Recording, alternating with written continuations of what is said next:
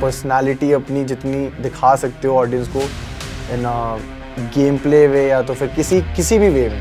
Just be yourself don't fake it